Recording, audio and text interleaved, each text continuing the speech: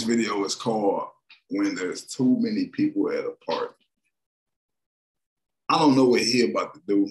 First of all, I've been watching this nigga for like years. Man. It's one of the funniest niggas I've ever seen on this app. His reaction videos, flawless, bro. They are hilarious. He's the funniest reaction channel ever. His TikToks be like real relatable. And we about to watch a TikTok from him right now. But uh when there's too many people at a party, I already know what's gonna happen. I feel like he's gonna make like a little cringy face, like, ah, oh, shit, what the fuck?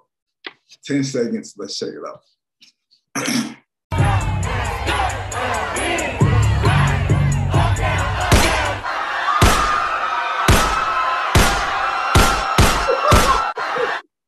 hey, I wasn't expecting that. I was expecting it to be so crowded and so many people. And then and he said, What the fuck? Oh, and start getting like anxiety or something. You know what I'm saying? You know how some people get claustrophobic, there's too many people in the room, or they get the feeling like nervous because it's like, who is all these people? I don't know these people. Like me, I don't fuck with parties or clubs necessarily because it'd be strangers in there.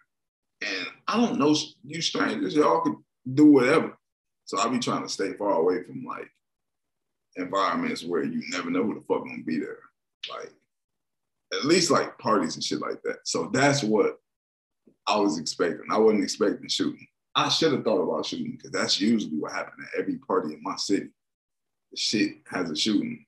But uh this was funny. I wasn't expecting this at all. I was really expecting him to be like, yo, I'm about to leave.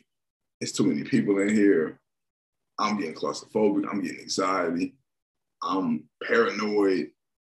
I got paranoia. I know a lot of people who go out in public and get paranoid just because it'd be too many people that they're not familiar with, unfamiliar faces and strangers. But uh, y'all make sure y'all go follow Lorenzo Banderas on TikTok, Instagram, same name, YouTube, Lorenzo Bands.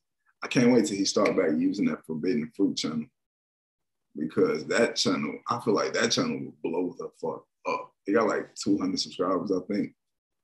Uh, but yeah, I can't wait till that channel. He used that more because that motherfucker will blow up because he really be giving the game over there. And it'd be the red pill type of advice that I like getting because I watch them type of videos too.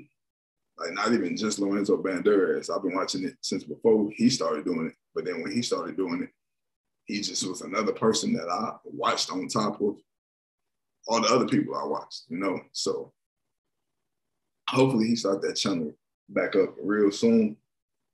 And uh, I'm gonna react to some of the stuff over there too.